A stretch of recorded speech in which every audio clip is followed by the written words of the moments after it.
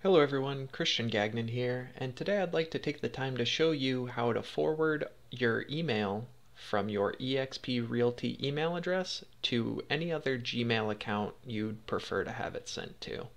So, the first thing we want to do is make sure we have both our eXp Realty accounts and our account we're trying to forward to signed in, just to make things a little bit easier on ourselves. As soon as you're done that, you're going to come up to this cog in the top right, click on that, and come down to your settings options. Now, you can see up at the top here we have a whole bunch of options, but the one we care about is this forwarding and pop slash IMAP tab.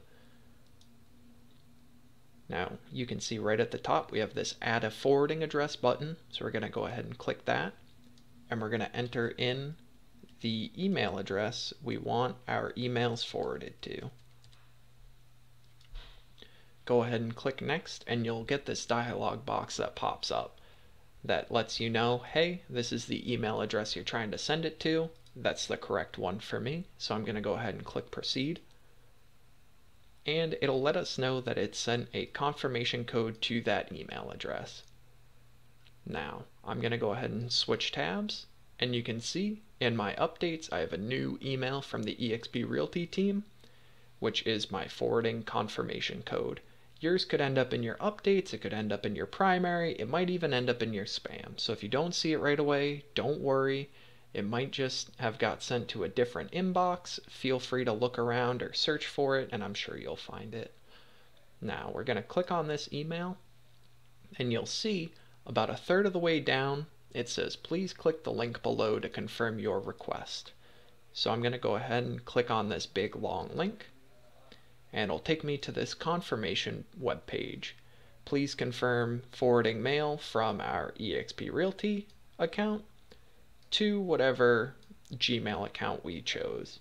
That's all my correct information, so I'm going to go ahead and click confirm. And it'll let you know, hey, your confirmation was a success but you're still not done just yet. So we're going to come back over to our eXp Realty tab, still in our forwarding settings, and we're going to reload the page. Now, you can see we have a couple new options up here at the top. We have the ability to disable forwarding, which you might want if you ever decide that you don't really want your EXP emails being forwarded to your primary account but we need to go ahead and click right here where it says forward a copy of incoming mail. It'll show you which email address it's being sent to.